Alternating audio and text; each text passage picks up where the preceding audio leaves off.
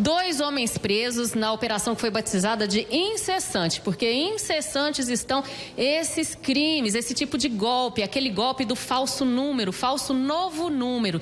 Nesse caso, a vítima é uma idosa de 62 anos.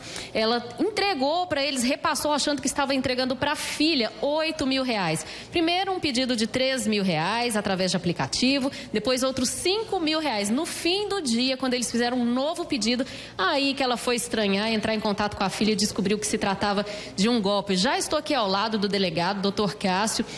Bom dia, delegado. Como é que a pessoa tem que se comportar nesse caso? Desconfiar sempre, jamais é, fazer esse depósito sem primeiro ligar, ouvir a voz dessas pessoas, porque eles evitam mandar áudios, né? Bom dia. Bom dia, exatamente. A engenharia social desse golpe ela basicamente está restrita à troca de mensagens de texto. Né? A vítima é induzida a acreditar que está falando com algum familiar, até que esse indivíduo pede para ela um dinheiro emprestado, informando que a sua conta está bloqueada, que precisa fazer pagamentos naquele dia.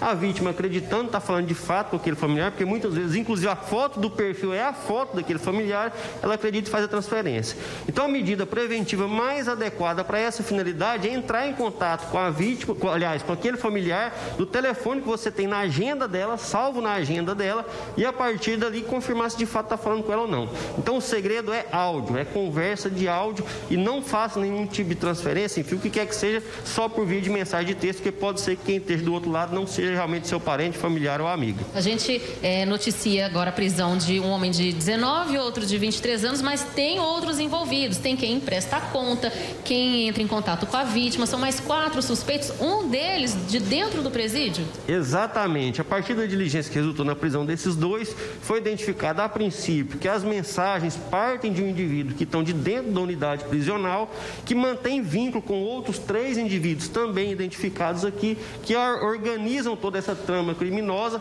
angariando contas bancárias, emprestando contas bancárias para essa finalidade.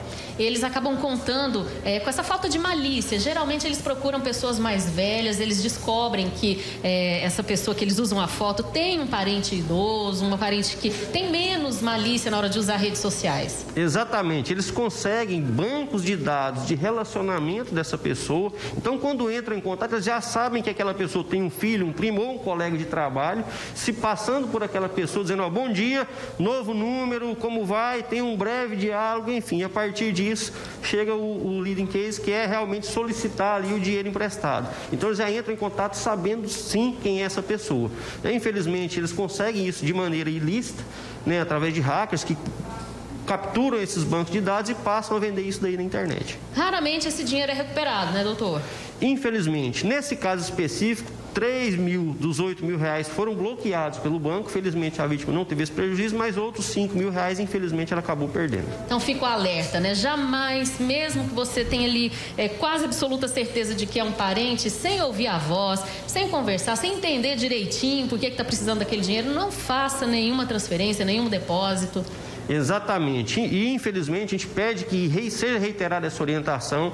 Infelizmente, esse golpe cresceu mais de 100% se considerar do mesmo período de 2020. E só no estado de Goiás hoje temos mais de 8 mil ocorrências de estelionato nesse período até agora de início de março. É, chama muito atenção, Silvia. Então a gente é, que tem aí parentes, tios, avós, os pais passa essa orientação, faz esse alerta. Olha, se aparecer algum primo, alguém pedindo dinheiro, conversa primeiro antes, tenta tirar a dúvida. E antigamente era o falso sequestro. É, agora eles pegam mais leve, entre aspas, é, pedindo dinheiro. Parece que é uma coisa assim é, tão simples, né? Mas vamos conversar primeiro, vamos ouvir a voz, vamos tentar não cair no golpe.